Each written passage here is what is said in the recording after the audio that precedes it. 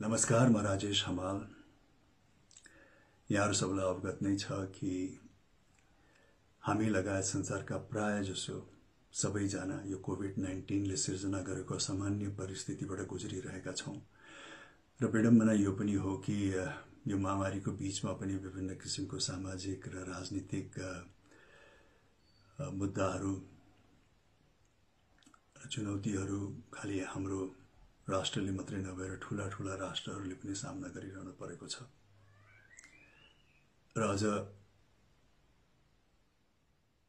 व्यक्तिगत तहबाट कुरा गर्ने हो भने त मलाई झनै दुःख लागिरहेको छ कि म संलग्न भएको क्षेत्र कला क्षेत्र सिने क्षेत्रमा पनि विभिन्न किसिमको वाद विवादहरू आरोप प्रत्यारोपहरूले निजलिरहेको छ।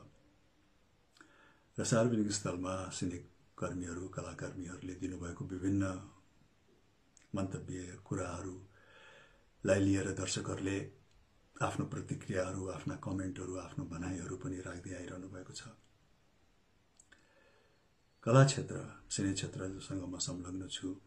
निसन्देह त्यसमा दर्शकहरूले दिनुभएको सल्लाह सुझाव र भनाइले अहम भूमिका निर्वाह गर्दछ। दर्शकहरू र हामी कलाकार बीच एउटा अद्भुत सम्बन्ध छ। दर्शकहरूले बेला बखतमा दिने सल्लाह सुझावहरूले हामीलाई आफ्नो कला अझ परिष्कृत र परिमार्जित हिसाबले प्रस्तुत गर्नको लागि प्रेरणा पनि दिन्छ। र दर्शकहरूले पनि बेला बखतमा हामी कलाकारहरूले सम्प्रेषण गर्ने आफ्ना विचारहरू र आफ्नो भनाइहरूलाई आत्मसात गर्नुहुन्छ। मानेमा दर्शक र हामी कलाकार बीच एक हिसाबले नङ्ग्र मासुको सम्बन्ध छ।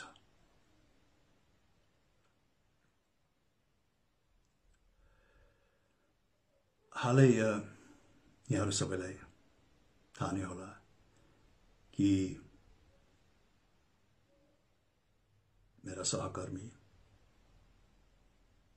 म जस्तै कलाकारले एउटा सार्वजनिक मञ्चमा मलाई लक्षित गरेर उहाँका केही भनाइहरू उहाँका केही कुराहरू राख्नुभयो। र त्यो भनाइ र कुराहरूलाई सुनिसकेपछि दर्शकहरूले र जनसमुदायहरूले असन्तुष्टि मात्रै व्यक्त गर्नु भएन। एक किसिमले आक्रोश पनि पोख्नुभयो र पोखी पनि राख्नु भएको छ। र यो सिलसिला मेरो विचारमा दुई तिन हप्ता भइसक्यो चलिरहेको।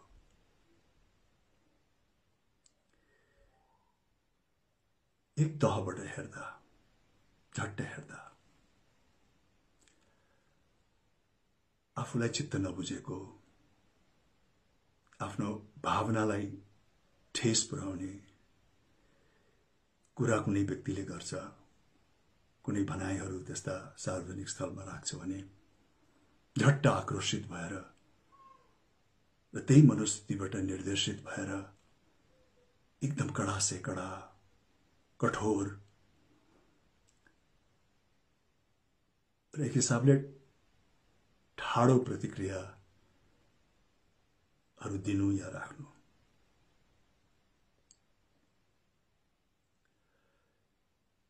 तर फेरि हामीले अर्को तहबाट हेऱ्यौँ भने अलिकति फराकिलो भएर अलिकति बृहत चित्रलाई मनन गरेर हामीले हेऱ्यौँ भने कि एउटा व्यक्तिले पेसागत हिसाबले होस् या आफ्नो कुनै विशेष इन्ट्रेस्टले लक्षित भएर किन नहोस् कुनै अभिव्यक्तिहरू सार्वजनिक स्थलमा राख्नुहुन्छ। भने एक्कासी झट्ट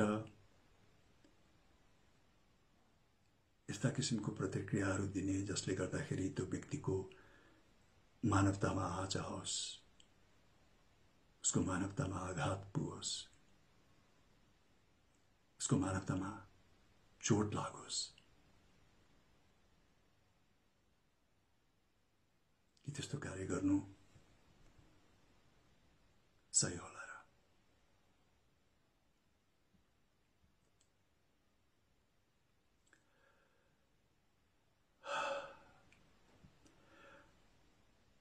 मलाई व्यक्तिगत हिसाबबाट सोध्नुहुन्छ भने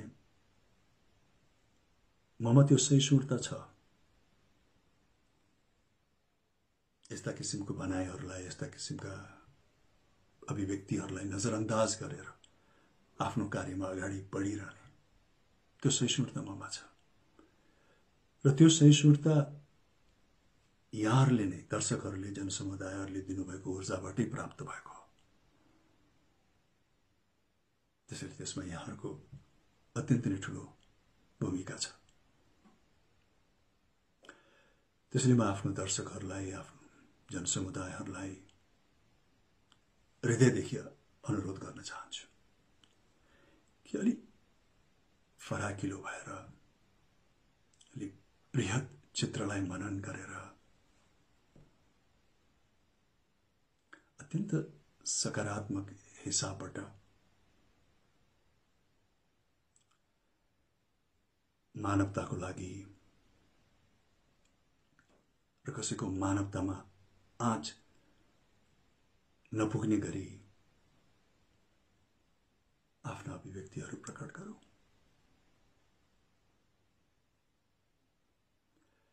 र यो कला क्षेत्र जहाँ हामी विभिन्न कलाकारहरू संलग्न छौँ यो कला क्षेत्र मेरो या अन्यहरू कलाकारहरूको मात्र पनि होइन। यो राष्ट्रको कला क्षेत्र तपाईँहरूको पनि हो। भले मैदानमा हामी उत्रन्छौँ मैदानमा हामी मेहनत गर्छौँ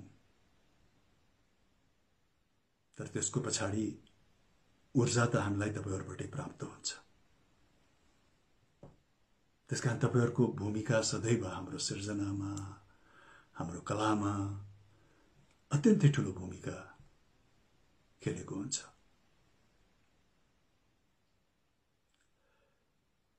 त्यसैले पनि म यहाँहरूलाई यो अनुरोध गर्न चाहन्छु कि यो राष्ट्रको सिने क्षेत्रको लागि कला क्षेत्रको लागि मानवताको लागि तपाईँहरूले अत्यन्त नै सकारात्मक भएर कृपया सम्बन्धित व्यक्तिलाई क्षमा दिनुहोला।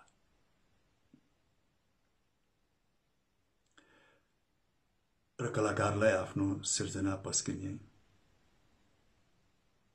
प्रेरित गरिरहनुहोला। यहाँहरूबाट सकारात्मक प्रतिक्रियाको अपेक्षा राख्दछु। कलाकारहरूलाई यहाँहरूले अगाडि बढ्नको लागि एउटा सहज वातावरण सिर्जना गरिदिनुहुनेछ प्रदान गरिदिनुहुनेछ भन्ने आशामा पनि छु।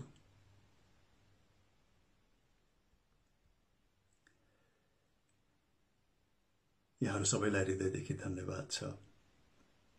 हामी कलाकारहरूलाई आउँदा दिनहरूमा कृपया प्रेरित गर्दै गर्नुहोला। धन्यवाद। Thank you. Subratri.